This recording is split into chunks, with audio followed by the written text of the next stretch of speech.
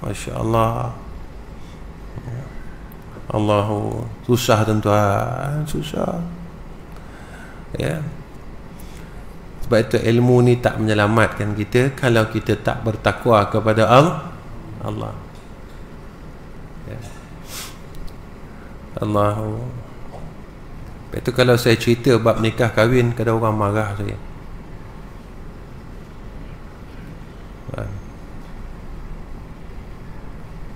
pengantin duduk kat depan dekat kursi. Duduk kan? Ha, dia duduk kat pengantin kan? Duduk kat depan kat kursi kan? Aduh orang pun makan. Isteri kita pakai baju bling-bling ada baik. Tangan dia naik tangan dia naik sampai sinilah sampai jari yang tak ada kuku je tak dia naik Ya? Baik. Purdah pakai Okey cantik. Dah cantik dah. Pakai purdah cantik. Contact lens tak lupa bye. Biasalah kan Setahun sekali Masuk neraka apa salahnya? Suami hidup sekali masuk neraka Bukan sakit pun.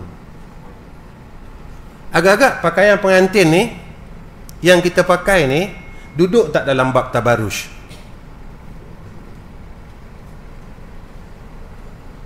Tuan-tuan jawab, saya tak nak jawab. Sebab sekarang yang buatnya ustaz. Yang kahwin macam tu, isteri tu isteri ustaz. Isteri tu isteri hafiz.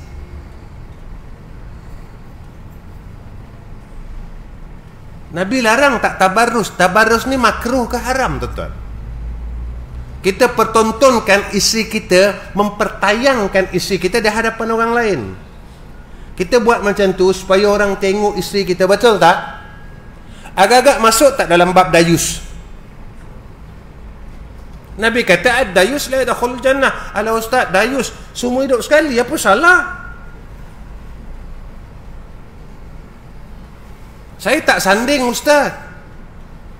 Betul tak sanding tapi kamu telah mempertontonkan isteri kamu dalam keadaan ia bertabarruj. Kadang-kadang buah dada pun nampak tuan-tuan. Nampak kita orang tua-tua ni semangat nak kahwin bila tengok dia macam tu. Duda dah 10 tahun semangat nak kahwin balik Masya Allah Hukum tetap hukum. Kulil haq walau kana murran. Wala talbisul haqqa bil batil Wa taktumul haqqa wa antum muslimun. Ha. Tapi kita cakap orang marah. Alah ustaz tak apa. Itu yang pakai burdah. Yang tak pakai burdah pula? Bibir merah Dengan eyeshadow dengan mukanya. Pakai tudung masya-Allah. Tapi tudung perasalah tudung pengantin. Tuan-tuan pernah tengok tudung pengantin labuh sampai bawah? Eh? masya-Allah. Mungkin isteri saya tudung labuh ustaz. Tapi perhiasan dia make up dia haram ke tidak haram? Yang tanggung siapa? Ha. tapi kita kata tak apa kan Alah ustaz tak apa sekali-sekali sekali masuk neraka apa salah kata dia.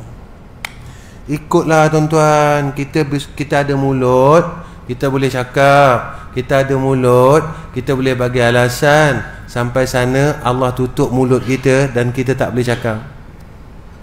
Al-yawma nakhtimu ala afwahihim wa tukallimuna aydihim wa tashhadu arjuluhum bima kanu yaksibun. Masa kamu hidup ni Kamu pandai cakap Kamu pandai kalih. Aku cakap begini kata Allah Kamu cakap macam ni. Sampai satu saat besok Aku akan tutup mulut kamu. Abu Madian berkata Jauh berbeza antara orang yang semangat